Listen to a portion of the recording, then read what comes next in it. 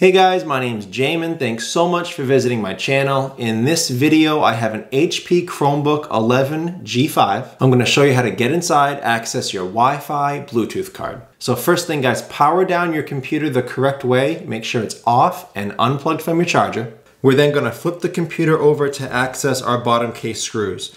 Now we're gonna take out all the screws on this bottom case. There's four here, two here, one in the middle, and three along that edge. And many of you will have these things. These are little rubber washers that fit over the screws to hide them.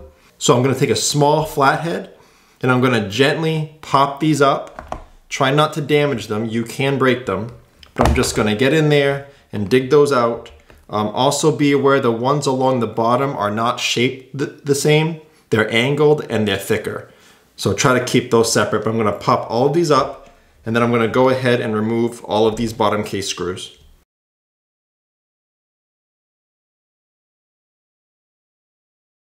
After the screws are removed, I'm gonna take my small flat pry tool and I'm gonna flip the computer over. And I'm gonna go along this seam between the palm rest and the bottom case. And I'm gonna pop this palm rest up from the bottom case.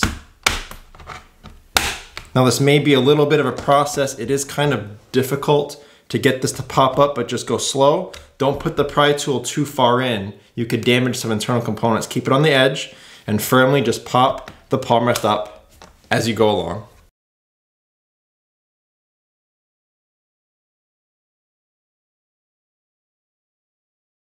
Now, when you do get your palm rest up, don't just rip it off. If you look inside here, there's a large ribbon cable from your keyboard and a small ribbon cable from your touchpad. Those are still connected to the motherboard. So I'm gonna go ahead and disconnect those, take the palm rest off, and then I'll show you what I did to disconnect them when we have a better view.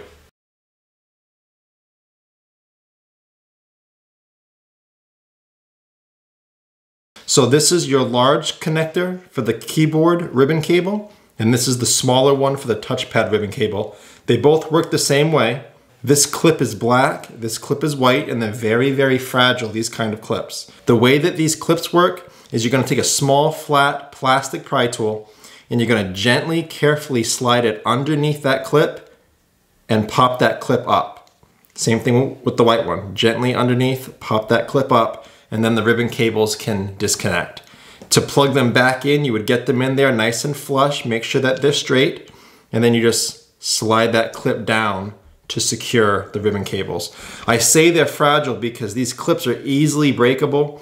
Um, if you do break them, you won't be able to secure the ribbon cable uh, properly. So you may need to either replace them or replace your entire motherboard if those don't fasten down. So be very careful when you're going in there. As a general repair side note, guys, whenever I'm working on a computer in my shop, I have it sitting on an anti-static mat. Either that or an anti-static bracelet are great ideas to avoid damaging anything in a computer when you're working on it. If you need any help with any tools or supplies for your computer project, there'll be a link above. Also below in the description, it'll have a list of the tools and supplies that I use on this computer, as well as all of these replacement parts for this specific model computer. They'll all be in that link. Now before I touch anything in a computer, I either remove or at least unplug the battery. A computer is safest to work on when as little power as possible is running through it. So to remove my battery, I have a single screw here and the battery plugs into the motherboard right there. So I'm gonna go ahead and remove that screw. So again, the computer plugs in here. As with any wires in a computer, you wanna try to avoid pulling on the wires themselves if at all possible. If at all possible, you wanna just manipulate the plug.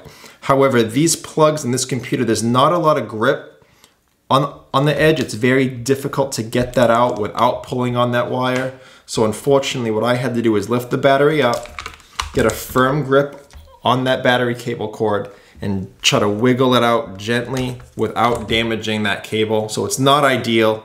Um, again, you, you want to avoid pulling on wires, but in this case, I couldn't. There's your Wi-Fi card right there.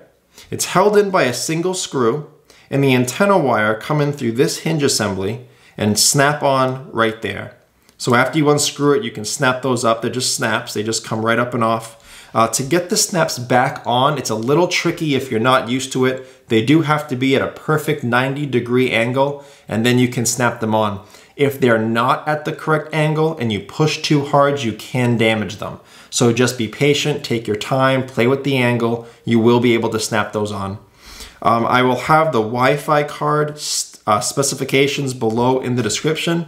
I'll also have a replacement Wi-Fi card below in that link that I told you about with all the tools and replacement parts. So that's the video guys. I hope it was helpful. If you have any questions, check out the FAQs below in the description first. It could save you some time getting an answer. But if you do need to leave me a question or comment, please do. I do try to get to those at least a couple times a day. And as always, guys, please remember to like and share if this video was helpful, if you think it can help someone else. And also feel free to subscribe if you enjoy do-it-yourself computer videos. Thanks so much for watching, guys. I look forward to seeing you on my next video.